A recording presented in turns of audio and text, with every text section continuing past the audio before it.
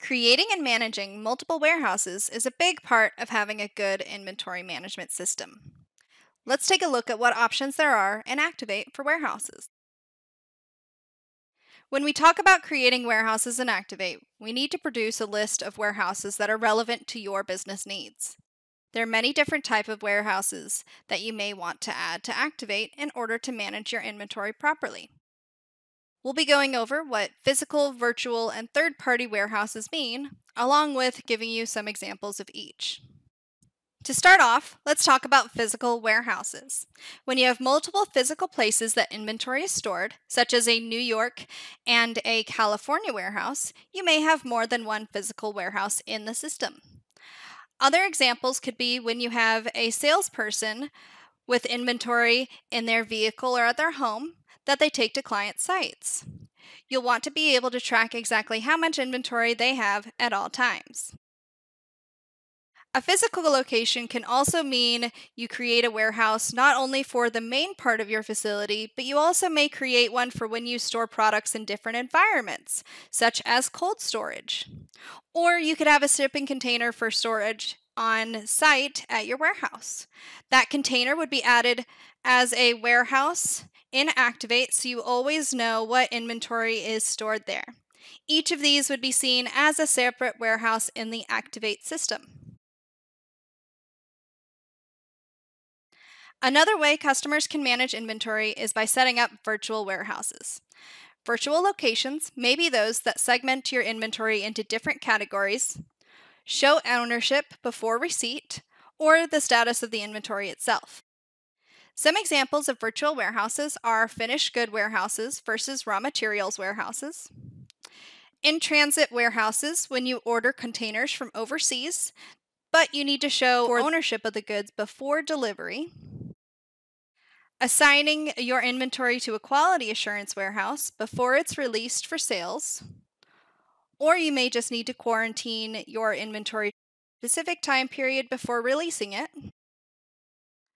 And you can also use a returns warehouse that holds inventory until you have a time to review it for resale, return to your supplier, or adjustment from your inventory.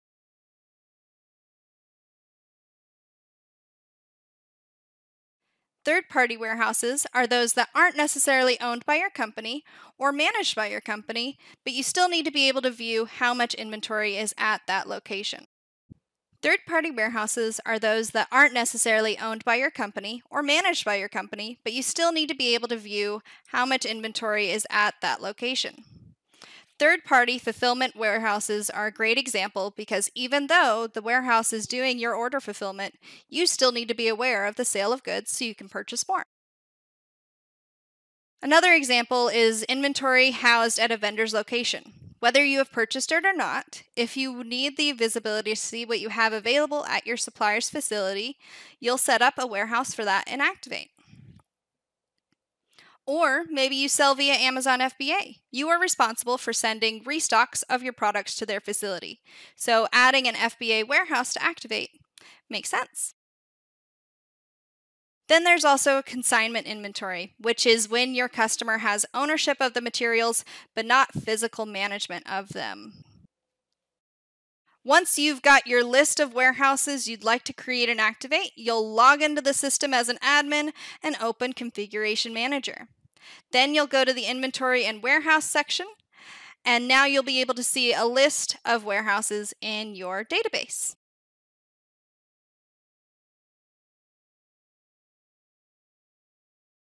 When adding a warehouse to your database, you can choose to add a new warehouse from scratch or you can copy an existing warehouse. If I'm needing to add a warehouse to Acctivate for my cold storage freezer that's located physically within my main warehouse, I may copy that main warehouse to make a new one for the freezer. This is because most of the fields, like the physical address, is going to be the same for my original warehouse and the freezer warehouse. You'll then select the proper QuickBooks GL accounts for this warehouse. They may be the same as your original one or not. It would depend on your company's needs.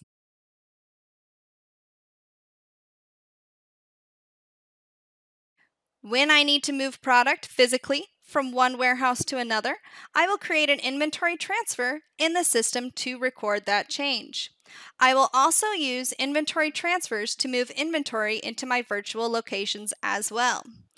To create the transaction, you'll select from warehouse and the to warehouse, the product, and the quantity.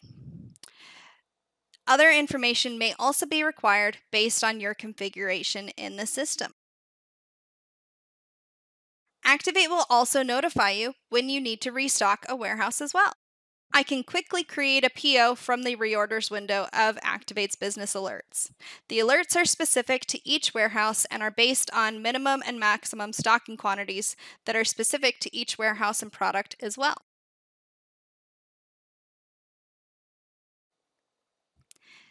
Since each warehouse that you create and Acctivate will have its own transactions to receive or sell inventory, we should reflect that costing separately as well, and we do. Being able to see cost differences in your products between warehouses is very helpful for making different kinds of business decisions. For companies with multiple physical locations, there are different costs associated with getting material to those locations, as well as transferring stock between them. The cost of goods sold for a particular item may change dramatically when it's been moved multiple times between locations. Thanks for watching our tutorial on Acctivate's multi-warehouse capabilities. If you'd like to learn more or would like to set up a personalized demonstration, click on the Get Started button below. If you are already an Acctivate user, reach out to your Acctivate account rep or email sales at acctivate.com.